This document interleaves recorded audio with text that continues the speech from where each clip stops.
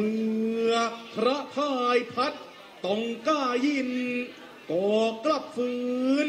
คืนสมประดี ครั้นแหลนพระจักรี จึงคลานเข้ามาไกลถวายบังคมพระตรีผู้นายแล้วกราบทูลมูลคดี ว่าวันนี้ตรีเนตรกับแทพพบุตรและอับสรมาจับระบำรำฟ้อนบนเวหา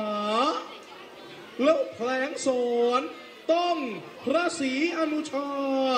และพลากร ข้าพระบาทเข้าร้อนร้อนทับคอขชา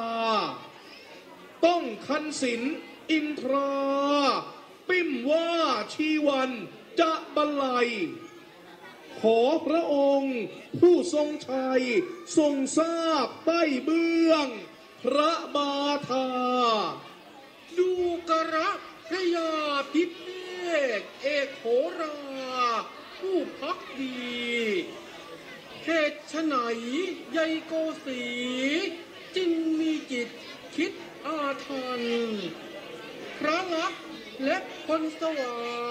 จะอาสันหรือหาไม่จะมีวิธีที่จะแก้ไขอย่างไรบ้าง จงแถลงให้แจ้งกระจ่างนึกเถิดโหราข้าแต่สมเด็จพระจักรา รามาวตาร อันอินทรชิตขุนมารมันจำแรงแปลงกายา เป็นองค์อมรินทรามาชิงชัย มันแผลงสอนสิทธิ์ฤทธิกรายชื่อว่าพรหมมาศซึ่งพระอิศวรเธอประสาทประสิทธิ์ให้ สัพยาที่จะแค่ไข อยู่ในภูผา ชื่ออาวุธ ขอพระองค์จงใช้ให้วายุบุตร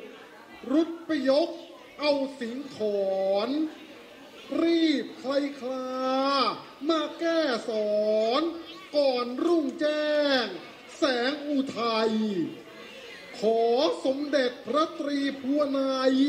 ได้ทรงทราบเถิดพระพุทธเจ้าข้าดูราหนุมานทหารเอก